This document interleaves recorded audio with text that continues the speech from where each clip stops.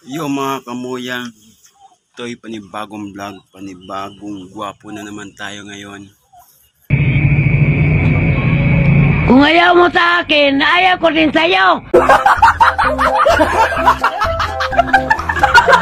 Ngayon po, ipapakita ko itong vlog ko. Ang video to ay tungkol, aba, matagal na to na binidyohan ko sila. Pumunta ako sa SM Sibmore sa Tacloban. Nakita ko ito. May dala, yung matanda, bulag, tsaka yung asawa niya, yung nagdadala yung speaker, tsaka yung matanda yung bulag. May gitara, magaling mag-gitara, parang nanlilimos pa sila.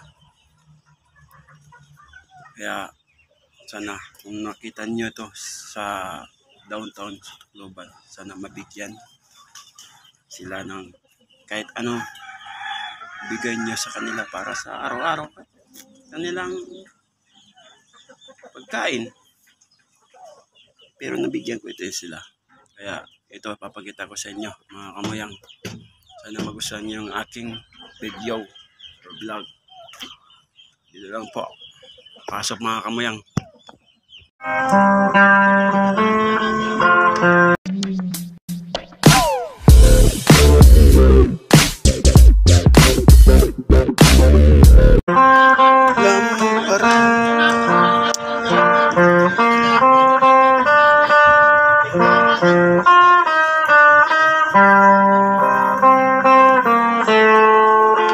Dito po sa Kuwan.